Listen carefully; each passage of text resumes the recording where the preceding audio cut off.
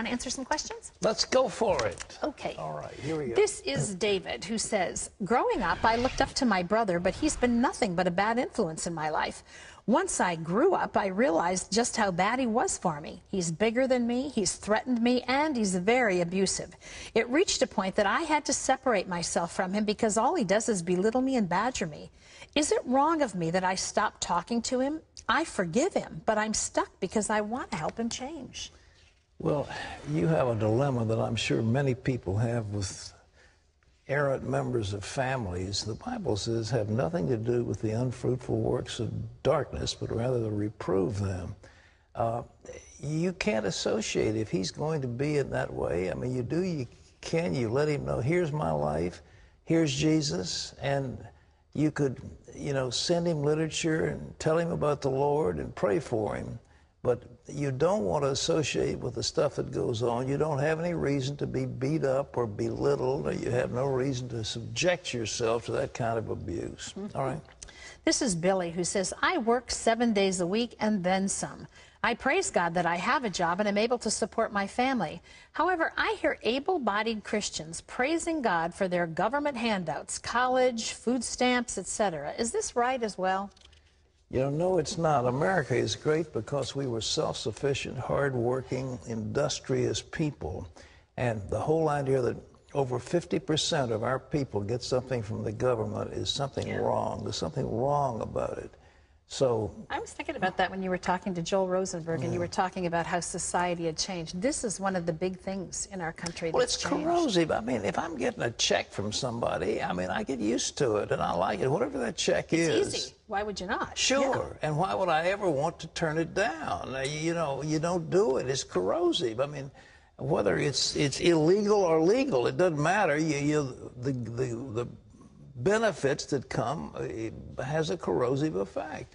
And uh, we have induced a corrosive poison into America.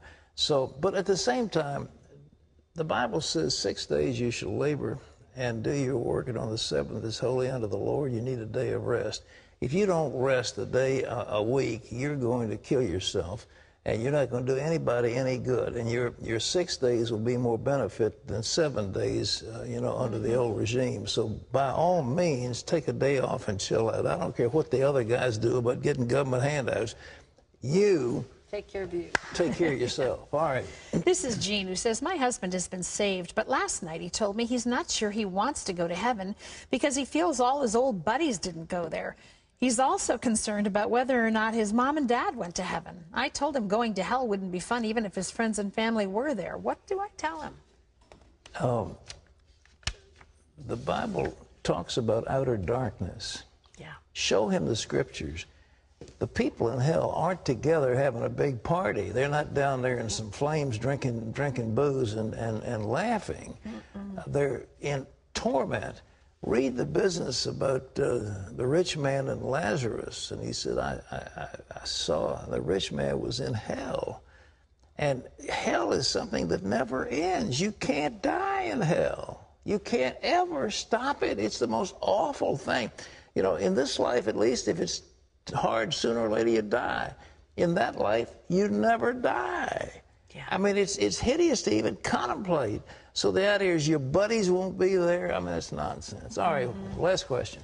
Okay, quickly. Jennifer says, I know that in heaven there are no diseases. My friend died recently with cancer. Since she was diseased, does that mean she wouldn't be able to enter heaven? Oh, of course not. I mean, we're healed the minute the minute this body leaves us. I mean, it's gone, and the spirit lives on forever. The spirit is what goes to heaven uh, you know, or I'm looking forward to the perfected body. Eh, eh, you know, and we get a perfect body yeah, with no disease, no, no, no weeping, no pain, no sorrow, no suffering. Hallelujah. Well, that's all the time we've got. On tomorrow's show, how a 300 pound woman dropped half her weight and kept it off.